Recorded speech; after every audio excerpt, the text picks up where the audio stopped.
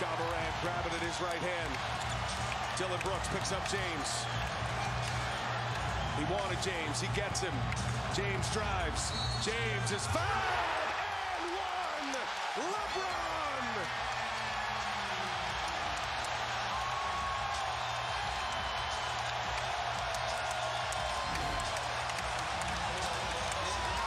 LeBron James has settled for some tough shots, but when they've needed him most, he's made two great drives